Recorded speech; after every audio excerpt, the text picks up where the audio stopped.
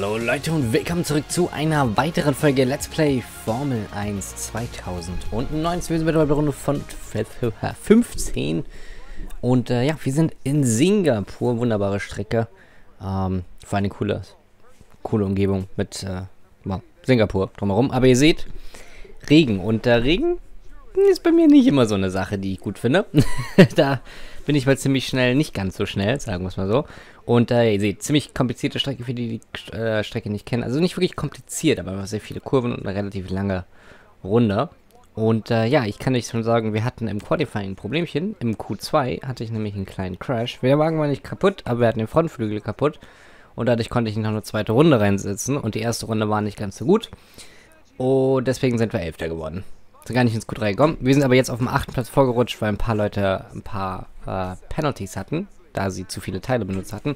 Also egal, achter Platz ist okay. Fester, äh, Bottas mit uns hier am sechsten Platz, nur ein bisschen vor uns.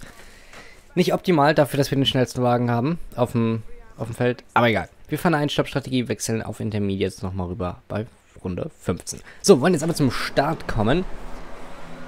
31 Runden, Regen, mal schauen. So, und auf geht's. Gleich den Start. Wir haben hier Butler, Raikön und bei um uns herum interessante Leute, mit denen wir normalerweise nicht viel zu tun haben. Wir müssen links schon mal direkt verteidigen und versuchen jetzt hier reinzukommen. Butler gibt uns absolut gar keinen Platz. Wir verhaken uns da ein bisschen, versuchen aber jetzt hier links uns trotzdem zu behaupten. Auch wenn er uns nicht wirklich viel Platz gibt, dann hier ein bisschen Gerängel, aber Gerangel. Aber wir sind durchgekommen. Äh, ja, da wollte er uns nicht wirklich den Platz geben, aber den lasse ich mir nicht nehmen, lieber. Während wir hier komplett rutschen, müssen den Wagen da fangen. Das Heck kam ein bisschen rum. Ähm, und ja, jetzt haben wir schon mal eine ziemlich große Lücke nach vorne. Das ist nicht ganz so praktisch. Aber mit Battle uns äh, sollten wir, glaube ich, keine großen Probleme dahin haben. Also müssen wir uns einfach nur ein bisschen konzentrieren, vorne ran zu kommen und dann ist gut. Die Ferraris haben ja einen Front Row Lockout. Ich glaube, das ist das erste Mal seit Ewigkeiten, dass die Ferraris gut abgeschnitten haben hier. Also die scheinen ganz guten Pace zu haben auf der Strecke. Und ja, wir werden einfach mal, wir werden natürlich unser Bestes versuchen, uns hier nach vorne zu arbeiten und uns, mal schauen, vielleicht einen weiteren Sieg zu holen. Wir hatten ja die letzten paar Rennen, waren ziemlich gut. So, das Schöne ist, hier in Singapur kann man ganz häufig auch sehr nah an der Wand fahren. Also es ist schön, bis man dann gegen die Wand fährt und das ist nicht mehr schön. Aber ist ganz cool, bisschen die Curbs nutzen. Und hier benutze ich immer eine andere Linie als die äh, KI. Interessanterweise, ich weiß nicht, aber ich finde, dass meine Linie besser funktioniert. Jedenfalls, jetzt kommen wir ran an, an Valtteri. Und äh, ich sag mal Jeff. Valtteri, it's James. so, da, da, dachte ich mir mal, komm, lass uns mal vorbei, mein Lieber. Habe ich kurz gefragt hier, Jeff, bzw. James in dem Fall, ob man nicht mal kurz eine Durchsage machen kann. Und danke, Bottas. wir sind da mal vorbei, da hat er gar nicht gekämpft. Und wir wollen jetzt uns weiterkämpfen. Was haben wir vor uns? Perez, dann haben wir die beiden Mercedes und dann haben wir die beiden Ferraris. Ja, doch ein ganz okayer Start, dafür, dass wir vom 8. Platz gestartet sind, sind wir schon auf dem 6. vor. Einmal weiterkämpfen, weitermachen. Noch haben wir anscheinend ganz gute Pace, obwohl es regnet. Aber vielleicht liegt das auch noch am Start. Mal schauen. Also ich rechne eigentlich damit, dass wir, dass unsere Pace jeden Moment hier ein bisschen abfällt. Ich werde aber, ich werde aber weiter versuchen. So, jetzt hier vielleicht ein bisschen ein Run. Na, kam nicht perfekt aus der Kurve raus. Aber wir sind schneller als der, der Racing Point. Also wir sollten eigentlich die Chance haben, da vorbeizukommen. Vielleicht gleich auf den nächsten Geraden hier uns gut durch die Kurven bringen. Bisschen anders einlenken als eher. Früher aufs Gas sein. Und links gleich mal Hallo sagen. So, jetzt ist es Seite an Seite. Jetzt gibt es aber eine Rechtskurve. Jetzt kann er vielleicht verteidigen. Gibt eine minimale Kollision zwischen uns. Er kommt vorbei. Aber jetzt haben wir wieder Windschatten auf eine sehr lange Gerade. Komm schon. Wir saugen uns ran und gehen nach links rüber. Und jetzt geht es in die Bremszone rein. Wir behaupten uns, bleiben links drin. Zwei immer noch Seite an Seite. Wow, wir kämpfen hier ganz schön. Und jetzt in der Rechtskurve. Wir bleiben immer noch die rechte Seite an Seite. Kommt ein bisschen weit raus, aber da haben wir genug Platz. Und ich glaube, wir haben es geschafft. Nee, noch nicht. Er kommt zurück über die rechte Seite. Immer noch nebeneinander. Unglaublich, was für ein Battle wir hier gerade haben. Äh, das, ist, das ist tatsächlich krass. Und jetzt links. Versuch, ich versuche zu früh zuzumachen. Da ist er noch. Gibt eine kleine Kollision. Er hält es aber durch. Und jetzt haben wir ihn überholt. Wow, das war, war ein ganz schönes Battle. Ich weiß nicht, wie lange das war, aber 30 Sekunden lang oder so direkt nebeneinander gefahren. Wirklich Seite an Seite, Rad an Rad. Äh, ordentliches Battle, nicht schlecht, äh, Perez. Aber das hat uns unglaublich viel Zeit gekostet. Ihr seht, wie vorne äh, Science ganz schön abgehauen ist. Zwei Sekunden ist er mittlerweile, die, an dem waren wir fast direkt dran neben. Also müssen wir jetzt wieder ein bisschen Zeit gut machen. Wir springen äh, mal eine Runde nach vorne. Wir arbeiten uns nämlich langsam ran. Und jetzt kommen wir gleich über Ziellinie und beginnen die vierte Runde. Aber ihr seht, wir haben gerade die Pace, denn wir setzen die schnellste Rundenzeit, unterbieten die vorherige Rund beste Rundenzeit um drei Sekunden, glaube ich. Also, ähm, ja, wir haben, ganz, wir haben ganz gute Pace. Ganz gute Pace. Mal schauen, ob wir davon darauf profitieren können. davon profitieren können. Deutsch. Deutsch ist ganz schwer. Schwere Sprache. so. Aber jetzt springen wir wieder ein bisschen vor. Wir haben uns nämlich rangekämpft mittlerweile in Runde 7. Und sind direkt hinter Sainz am Mercedes dran. Die beiden versuchen einen Weg zu finden, um an den Ferraris vorbeizukommen. Die können sich nämlich nicht absetzen. Weil die sind, ich glaube, die sind das viertschnellste Auto mittlerweile. Red Bull ist schneller, äh, Mercedes ist schneller, wir sind schneller. Also das kann eigentlich nur nicht lange dauern. Jedenfalls, wir haben jetzt aber einen guten Run. Wir sind direkt im Windschatten an Science ran, wollen jetzt eine Lücke suchen, jetzt gleich rechts rausziehen und oh shit, wir berühren ihn und auch noch Hamilton berührt, der crasht gegen die Wand. Science crash gegen Hamilton. Wir versuchen rechts vor. Okay, das gucken wir uns nochmal an. Ich bin direkt hinter ihm, will rausziehen. Er bremst minimal früher als ich dachte. Ich ziehe durch und ramm dann auch noch Hamilton. Der Grund, warum ich Hamilton ramme, ist, das seht ihr aus der Perspektive. Ich schaffe die Rechtskurve nicht. Und deswegen will ich versuchen, noch links in die Lücke reinzuziehen. Hab da aber auch keine Chance mehr. Und äh, ja, es bleibt nichts anderes. Rechts hätte ich es nicht geschafft, links hätte ich es nicht geschafft. Es gab nichts anderes. Und dass dann Sainz aber auch noch in, in Hamilton wieder reinfährt, das war ungeplant. Jetzt sind wir alle beschädigt. Äh, Rennleitung sagt, wir müssen den Platz zurückgeben an Sainz. Okay, machen wir kurz. Ja, also ich glaube, Hamilton hat fast keinen Frontflügel mehr. Wir haben fast keinen Frontflügel mehr. Sainz hat beschädigt. Also so die drei, drei von vier Top-Fahrern aus dem Rennen mal eben kurz rausgenommen. Und ja, wir müssen sofort, wir müssen sofort in die Box. Das ist äh, gar nicht gut. Das ist gar nicht. Ihr seht, wie ich extreme Probleme habe, überhaupt in eine Kurve zu kommen. Sainz hat es auf jeden Fall noch besser. Und ich glaube, Luis hat... Ich glaube, der hat keinen Frontflügel mehr. Der fällt unglaublich zurück. Ja, wir müssen jetzt aber hier direkt links abbiegen. Auf jeden Fall nicht der Anfang, von dem ich hier geträumt hatte. Sagen wir es mal so. direkt in eine Wand. Also absolut meine Schuld. Ich habe es ein bisschen verschätzt da. Puh, okay, egal. Neue Frontflügel, neue Reifen, während wir gerade dabei sind. Und dann wollen wir... Ach, wollen wir das Beste draus machen. So, Leute, komm schon. Lasst uns guten Stop machen. Hamilton. Gleichzeitig kriegt er jetzt äh, gleiche, die gleiche äh, Operation, sagen wir, im Auto. Und wir fahren raus. 8,358 Sekunden ist okay dafür, dass wir auch noch den, äh, die Front gewechselt haben, den Frontflügel. Wir wollen einfach mal weiter machen. Jetzt sind wir natürlich ganz hinten. Also Hamilton ist noch hinter uns. Aber sonst sind wir ganz hinten. Also, äh, ja, mal schauen. Kämpfen wir, uns, kämpfen wir uns mal ran. Jetzt haben wir ziemlich viel Zeitabstand. Ich weiß nicht, wie groß der Abstand ist zwischen uns und Quiert. Aber ich kann sagen, der ist ziemlich ordentlich. Wir sind jetzt, nehmen wir an, so 30 Sekunden vielleicht, ne? 20, 30 Sekunden dürften wir hinter Kiat sein. Okay, aber egal. Einfach konzentrieren. Ranfahren. Und, ähm, ja, stimmt. Der Regen hat aufgehört. Das ist schlecht, weil wir müssen wahrscheinlich gleich Reifen wieder wechseln. Wir sind gerade... Nein. Wir sind gerade reingekommen. Wir sind gerade in die Box gekommen und haben Inters draufgezogen. Ich habe gar nicht drauf... Niemand hat dran gedacht. Weder wir, noch Jeff, noch irgendjemand im Team.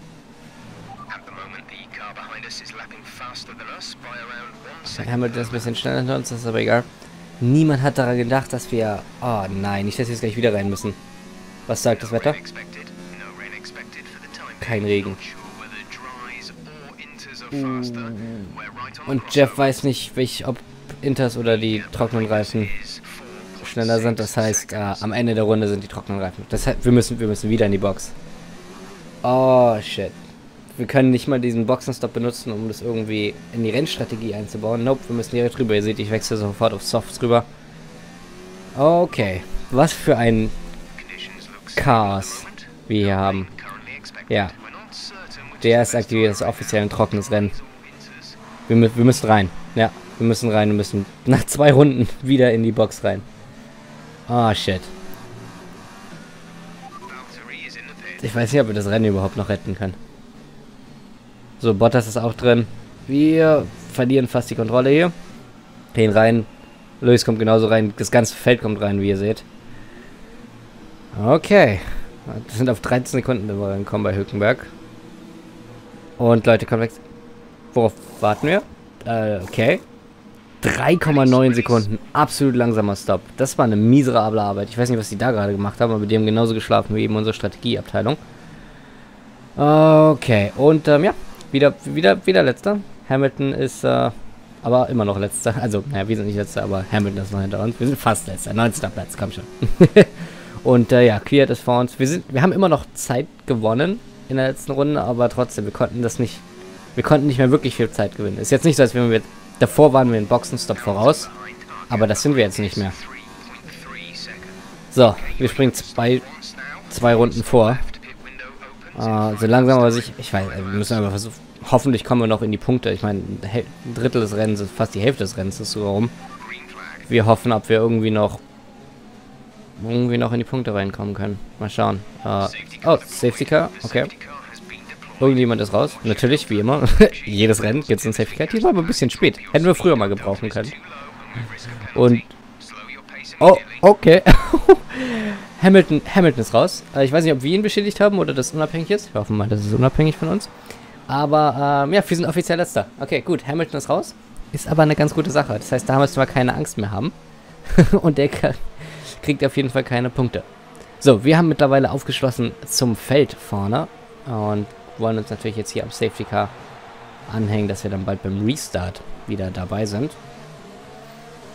Und wo wir vom Restart reden, am Ende der 14. Runde hier sind wir da. Safety Car kommt rein und wir müssen jetzt nur geduldig sein. Irgendwann startet vorne das Feld. Wir sind eben wirklich ganz hinten. Wir haben 18 Fahrzeuge vor uns. Aber es ist gut, dass das Safety Car kam. Das hat uns hier nochmal gerettet. Ein bisschen früher war immer noch besser gewesen, aber das war trotzdem, äh, trotzdem ganz gut, dass das Safety Car kam. Und noch besser, dass Hamilton rausgeflogen ist. Der Mercedes ist ja vor uns in der Konstrukteursmeisterschaft, also das wird ein bisschen ein Battle. So, vorne wird jetzt Gas geben, aber wir müssen uns hier noch ein bisschen dran halten und ich kriege einen super schlechten Exit aus der Kurve. Oh Gott, da schon mal extrem viel Abstand hat Kiwi gewonnen. Okay, wollen wir uns gleich wieder rankämpfen. Egal, wir haben den viel schnelleren Wagen. Wir haben brandneue Softs raus vor uns, hat er uns, hat er Mediums. So. Wir müssen nämlich sowieso, glaube ich, noch einmal stoppen, oder? Genau. Ich glaube, das war die richtige Entscheidung von mir, auf Softs zu gehen, oder? Ich glaube, Mediums hätten nicht gereicht. Nee, okay. Ich hatte jetzt kurz wir nicht auf Mediums hätten gehen können das hätte gereicht, aber nee. Definitiv nicht. So, jetzt wollen wir aber mal unseren McLaren ein bisschen ausfahren und äh, den Leuten zeigen, dass wir schnell sind. Auf die Gerade in den Windschatten. Ranziehen. Rausziehen. Und auf der Innenseite, juh, nur ein bisschen Platz links und rechts. Jetzt ein bisschen später bremsen. Um die Außenseite bleiben. Immer noch mit zwei Rädern auf der Strecke. Und wunderbares Überholmanöver. So würde ich das sehen. Nächstes Ziel Hökenberg vor uns. Und dann haben wir George Russell und Williams.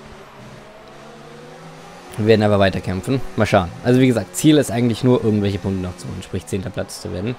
Desto mehr Punkte, desto besser. Aber ähm, ich glaube, wir müssen uns hier nicht irgendwelche falschen Hoffnungen machen, als dass wir noch wirklich eine gute Chance haben in dem Rennen. Irgendwas erfolgreich zu schaffen. Ähm, aber ja, so ist es. Manch, manchmal gibt es so Rennen und es, es kommt aus von meinem Fehler her, plus ein bisschen Strategiefehler. Aber grundlegend war es mein Fehler. Also, ähm, kann ich ja nichts gegen sagen. Jedenfalls, wir starten einen Angriff auf Hökenberg, der einfach mal die Kurve ein bisschen schneidet, uns rausrammt. Und äh, ja, das war nicht so freundlich. Jetzt ist es wieder Seite an Seite und er versucht, er will hier echt nicht aufgeben, obwohl wir klar schneller sind. Und ähm, ja, da müssen wir uns ein bisschen durchdrücken. Wobei er, der uns, der, er ist der, der uns eben gerammt hat. Das mussten wir nicht machen. Aber Ha. Und ich habe vergessen, meinen Ofen anzustellen. Mist, ich wollte mir eine Pizza machen, weil ich voll hungrig bin. Dachte mir, ich nehme das auf und dann mache ich gleich, gleich keine Ofen aufwärmen. Das habe ich vergessen. Verdammt! Egal. Jetzt bin ich dabei. so. Wir sind mittlerweile 17. Platz. Zwei Plätze haben wir schon gewonnen. Und wir haben noch etwa die Hälfte des Rennens vor uns. Also wir werden noch einige Plätze hier, denke ich, gut machen können. Das habe ich mir aber nicht so vorgestellt, das Rennen. Das Rennen habe ich mir nicht so vorgestellt, wie es jetzt ist. Ich dachte, weißt du was, wir können vielleicht wieder um Sieg kämpfen, vielleicht ein 1-2 machen. Dann war das Qualifying schlecht. Dann hat das Rennen noch schlechter begonnen, als das Qualifying schon war. Und ja, dann waren wir hier in dem Schlamassel. So, auf jeden Fall, wir sind schon wieder in der Box. Äh, ich glaube, das ist unser dritter Boxenstopp in acht Runden. Weil wir sind am Ende unseres Stints schon angekommen. Und äh, Zumindest sagt uns Jeff das. Jeff sagt, wir sollen jetzt in die Box kommen. Genau, ja, das habe ich eben verpasst. Sorry, Jeff hat uns nämlich gesagt, ähm, es ist besser, jetzt in die Box zu kommen. Weil die Autos vor uns halten uns nur auf. Das heißt, wir machen jetzt einen langen Stint auf Mediums. Ist riskant, vielleicht halten die nicht durch. Aber das kann uns vielleicht ein bisschen Zeit verschaffen. Natürlich sind wir jetzt wieder letzter. äh, ist irgendwie so ein wieder, wieder passierendes Ereignis hier gerade. Aber wir haben jetzt vielleicht ein bisschen bessere Chance. Wir können jetzt einfach nur auf die Strecke konzentrieren und schnell sein. Und wo wir von schnell sein reden, hier von Runde 18 zur Runde 19. Mal eben die schnellste Rennrunde aufgestellt, eine 1,41,925. Und äh, ja, wir werden keinen Boxenstopp mehr haben, aber ich glaube fast alle vor, alle vor uns müssten eigentlich noch mindestens einen Boxenstopp haben. Das heißt, äh, ja, einfach nur, einfach so viel Gas geben wie möglich. Und jetzt Runde 20, einiges vorgesprungen. Sehen wir, da sind die ersten Boxenstops und jetzt ernten wir die Saat. Ernten wir die Saat? Heißt das? Ach, keine Ahnung.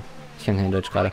So, kommen raus und sind schon mal auf den 13. Platz vorgefahren. Das mag ich schon mal. Und da, ich denke, glaube, das war erst die erste Hälfte des Feldes, die in die Box gegangen ist. Das heißt, wir können hier vielleicht noch mehr Plätze gut machen. Okay, das war, ich glaube, das war ein sauguter Call von Jeff. Dass er uns sagt, komm jetzt in die Box früher. Und jetzt kommen wir die zweite Welle an, an Boxenstops. Sogar an Science vorbei. Und okay, wir sind auf dem siebten Platz und vor uns ist Bottas. Jeff, also das war eine brillante Idee. Also ich habe zwar am Anfang verhauen mit dem, mit dem uns noch wieder auf Intermediates zu packen. Ähm, da hätte man dran denken sollen. Wobei, wir hätten vielleicht ein bisschen Zeit. Das ist vielleicht so ein 50-50-Call. Aber das hier jetzt war auf jeden Fall nicht, nicht schlechter. Nicht schlecht. Jedenfalls, Hülkenberg vor uns. Wir haben DRS. Und dieses Mal bitte nicht so viel Mist. Wir ziehen direkt vor ihm rein, um gleich mal klar zu machen. Du wirst uns nicht Gegenangriff. Du wirst diesmal keinen Gegenangriff machen. Das war wirklich... Es war hundertprozentig fair und wirklich direkt vor ihm reingezogen. Gucken wir uns mal den Replay an. Fahr vorbei und sobald ich wusste, da ist Platz, schwupp, reinziehen und bremsen. Kein Gegenangriff kann er da wagen. Aus seiner Perspektive, da. Aber sowas gebe ich mir nicht nochmal, was er da letztes Mal abgezogen hat.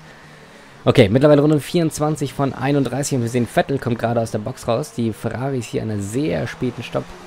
Ich weiß nicht, was die für eine Strategie gemacht haben. Aber auf jeden Fall äh, Vettel vor uns. Die Frage ist, der ist auf Softs. Wir haben zwar einen schnelleren Wagen, aber unsere Mediums sind mittlerweile schon äh, glaube ich, äh, acht Runden alt oder so. Und er ist auf Brand 29. Mal schauen, vielleicht können wir was machen, aber ich würde nicht meine Hoffnung drauf geben. Gleichzeitig Ricciardo kommt in die Box und wir sehen auch, guck mal auf der Map, Leclerc ist auch in der Box. Der kommt gerade jetzt raus. Vielleicht können wir den Platz holen. Oh, optimistisch über die Kurve. So, und jetzt über außen. Komm schon. Okay, da kommt er vorbei, aber wir haben ein bisschen besseren Run, da wir mehr Beschleunigungszone haben. Kommen gleich über die linke Seite. Oh, er gibt uns keinen Platz. Und jetzt haben wir aber DRS. Können wir da vielleicht gleich einen Gegenschlag starten? Bisschen weit in der Kurve rausgekommen, aber trotzdem mit DRS sollten wir einen guten Run haben. Ziehen nach links, wollen uns die Innenseite für die nächste Kurve starten. Direkt Seite an Seite. Und wir kommen rum. Wunderbar. Wir haben uns den dritten Platz gesichert und wir sind auf dem Podium, wenn es so weitergeht. Nicht schlecht, damit hätte ich nicht gedacht. Eine Runde später aber haben wir Leclerc hinter uns. Und jetzt hat der DRS. Und ähm, er hat auch Softs drauf, das heißt, er ist auch grundlegend schneller als wir. So, wollen wir mal gucken. Uh, da rammt er uns. Okay, mein Lieber. Ich habe dir wenig Platz gegeben, aber du hattest genug Platz. Kein Grund, mich zu rammen. Werfen wir nochmal einen Blick drauf. So. Ja, der lenkt einfach viel zu früh ein. Ohne Grund. Da. Anstatt auf seiner Linie zu bleiben, füllt er uns einfach wegrammen. Und da muss ich dann ein bisschen weit rausgehen. Äh, das geben wir uns nicht. Äh, die nächste Runde. Gleiche Stelle. Leclerc versucht wieder einen Angriff. Mal schauen, können wir es nochmal verteidigen. Gleich machen wir eben, versuchen wir es. So, er kommt über rechts. Das heißt, wir wollen jetzt wieder ein bisschen squeezen. Und über die Innenseite. Aber ich verbremse mich. Kommt zu weit raus. Jetzt hat er einen guten Run. Äh, und nee, das, das müssen wir aufgeben. Da werde ich nicht bekämpfen. Äh, wir haben wir haben abgekürzt und sonst hätten die Stewards eh gesagt, den muss ich weggeben. Also einfach blöd, dass ich mich da verbremst hat. Aber er hatte einen guten Run. Okay, äh, den werden wir nicht mehr kriegen. Gleichzeitig kommt hinter uns jetzt Science. Jetzt aber auch auf Mediums. Aber seine sind viel frischer als unsere. Mal schauen. Mal schauen, wie das weitergeht. So, wir sind noch vier Runden. Haben wir noch. Ah, ist viereinhalb etwa. Wir werden einfach so viel Gas geben wie möglich. Gleichzeitig müssen wir ein bisschen Sprit aber auch noch sparen, weil wir sind ein bisschen über dem Ziel, was das angeht. Und jetzt kommt Science und wir gehen extra weit. Jetzt kommen die Strategien, Leute. Wir gehen extra weit raus, lassen Science vorbei und wissen jetzt, wir haben auf der Geraden DRS und ähm, ja, wollen wir mal unser DRS anschalten. Und probieren es. Fast die Wand geküsst. Jetzt über die Innenseite, den gleichen Move, den wir so heute, heute so häufig gemacht haben. Zu zweit, ja, leichte Kollision. Aber wir kommen vorbei. Kurze Anmerkung. Das ist übrigens nicht das gleiche wie in Hanoi. In Hanoi haben wir zwar auch jemanden vorbeigelassen. Aber hier haben wir nur das Problem, weil wir alte Reifen haben und äh, Sprit sparen müssen. Sonst hätten wir das Problem nicht. In Hanoi hast du jedes Mal das Problem. Würde ich nur mal sagen. Gleiches, gleiche Sache probieren wir nochmal. Das Problem ist, dieses Mal kriege ich die Kurve ganz blöd. Ich komme viel zu weit raus. Raikön links neben uns. Hallo. Und äh, Science hat jetzt extremen Run. Gleichzeitig diese Kurve verpasse ich auch die Apex. versuche jetzt mit DRS zu kommen und ähm, ja, ich glaube, nochmal funktioniert die Strategie nicht. Sie hätte vielleicht nochmal funktioniert, wenn ich vorbeilassen. Aber ich habe den Fehler gemacht, dass ich zu weit rausgekommen bin. Können wir irgendwie einen Gegenschlag... Ja, okay. Ich glaube, der Platz, der Platz ist weg, glaube ich. Das ist... Äh, ah, das war super optimal. Aber ich glaube, den hätten wir sowieso nicht verteidigen können. Das ist unsere einzige Chance war mit dem Vorbeilassen. Äh, und dann wieder mit DRS zurückzuholen. Ich glaube, das war die einzige Chance, aber... Nee, ich glaube, es hat nicht funktioniert. Sonst hätten wir es, glaube ich, auch verloren. Egal. Ihr seht, äh, unsere Reifen sind mittlerweile absolut am Ende. Weil wir so früh gespockt haben. Jetzt versucht Raikön einen Angriff auf der Innenseite. Da müssen wir ihm Platz geben. Ist immer noch in. Jetzt hat er sich zurückgezogen. Und wir müssen rein. Weil wir haben ein riesen Feld an Fahrzeugen. Warum ist Raikön eigentlich so schnell? Was mit dem Alpha passiert? so, wieder ein bisschen die anders die Linie nehmen.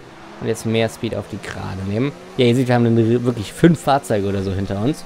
Die alle darauf warten, dass wir doch bitte, ähm, dass wir doch bitte mal einen Platz abgeben. Aber jetzt geht es gleich rein in die allerletzte Runde. So, die letzten paar Kurven hier in Runde 30. Komm schon. Einfach versuchen. Ja, die lassen nicht so einfach nach. Also die DS-Zone müssen wir überleben, das ist das Wichtige.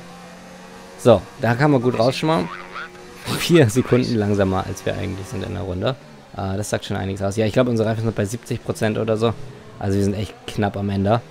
Und jetzt hier natürlich normal durchfahren. Diesmal lassen wir keinen durch. Da haben unsere Lektion gelernt. Das war eben nicht so klug gewesen. Beim ersten Mal war es ein cooler Move. Beim zweiten Mal haben wir es vergeigt. Oh, so, jetzt hier rum. Wunderbar. So mag ich das. Okay. Der ist Zone kein Angriff? Nee, okay, gut. Das heißt, wir haben es bis hier schon mal überlebt. Wir haben aber noch ein bisschen weiter vor uns. Das heißt, es kann noch immer einiges an Angriffen kommen. Aber das Wichtigste und Schwerste haben wir wahrscheinlich schon mal überlebt. Wir müssen noch minimal Sprit einsparen. Da stelle ich es nochmal kurz rum. Stellen wir um auf Lean. Wollen nach hier auf der einen Gerade. Ich kann man nämlich nicht so leicht überholen. Nochmal kurz Sprit einsparen. So, müssen noch ein bisschen mehr einsparen. Okay, bleiben wir nochmal dabei. Aber auf den nächsten Graden brauche ich auf jeden Fall wieder normal Sprit. So, hier sparen wir jetzt gut ein. Fast die Kontrolle nochmal verloren. Bisschen die Curbs mitnehmen, so weit wie möglich. Bremsen. Und auf die Gerade raus. Okay. Wir bleiben nochmal im Lean-Modus. Stellen jetzt aber hoch. Und da ihr, ja, oh Gott, unsere Reifen sind absolut am Arsch. Kein Wunder, dass wir keine Pace haben, dass alle an uns so leicht vorbeiziehen und die ganze, selbst ein Alpha hinter uns schneller ist. Ähm, ja, aber wir müssen nur noch ein paar mehr Runden halten. Gleichzeitig Bottas, hey, nicht schlecht. Bottas gewinnt das Rennen. Also trotzdem ein McLaren-Sieg, obwohl wir einiges an Mist gebaut hatten. Und Strategie verkackt haben und alles mögliche war. Aber McLaren win ist das Wichtige. Uh, Heck immer noch sehr locker. Letzten paar Kurven. Komm schon, noch kurz zusammenhalten. Nicht gegen die Wand hauen. Wunderbar, dass da ein kleiner Cut ist. Er ist direkt an uns dran, mein Gott. Rum, rum, rum, rum, rum, Gas. Und wir haben es geschafft. Uh! Fünfter Platz nach all dem, was passiert ist. Nicht schlecht. Damit hätte ich nicht gerechnet. Schade, dass wir gecrashed sind. Das war mein Fehler. Dann hatten wir strategiemäßig vielleicht ein bisschen verkackt mit Intermediates. Aber dann kam von Jeff der geniale Call, dass wir früher in die Box kommen. Und somit versuchen, den Traffic zu avoiden. Also das war richtig gut. Gut gemacht, Jeff. Klapp, klapp, klapp. Und, ähm, ja, nee, war doch aber ein sauspannendes Rennen. Also das Rennen war echt spaßig, auch wenn wir nicht gewonnen haben. Aber super spannendes Rennen hat mir hat mir echt gefallen, muss ich sagen. Und ich hoffe, ich, hatte, ich hoffe und ich glaube, es hat euch genauso gefallen wie mir. Gleichzeitig sehen wir die Ferraris auf 2 und 3. Und, ähm, ja, nicht schlecht, nicht schlecht. Glückwunsch an, an Valtteri natürlich hier, obwohl er uns einmal vorbeigelassen hat, hat er das Rennen gewonnen, ist das super. Karma kam da zurück im Positiven. Und da feiern sie. Ja, nächstes Rennen ist, ähm, gute Frage, ich weiß gar nicht, was das nächste Rennen ist. Ähm, aber wir haben noch fünf mehr Rennen, glaube ich. 16, 17, 18, 19, 20, 21. Wir haben sechs mehr Rennen. Also sechs Rennen mehr. Also äh, noch ein paar Rennen. Und gucken wir mal, wie Standings sind. Also genau. Wie gesagt, Bottas erster, Vettel, dann Leclerc, dann Sainz und dann wir. Raikön echt nicht schlecht auf dem sechsten Platz gelandet. Lukas Weber vom 17. auf dem siebten. Und natürlich Hamilton ähm, ganz weit zurück. Kubica sogar auf dem zwölften Platz. Okay. Gucken wir uns mal Championship an. Bottas ist wieder uns vorbei. Jetzt hat zwei Punkte vor uns. Es ist ein Kampf zwischen uns. Und äh, wir sind ganz nah dran an Ferrari. Jedenfalls, ich euch bei euch zuschauen. Kann ich Tschüss, bis zum nächsten Mal. ODCD. Ciao. Achso, und äh, die, nächste, die nächste Folge Formel 1 kommt natürlich wieder um äh, 15 Uhr übermorgen. Also, bis dennchen. Ciao.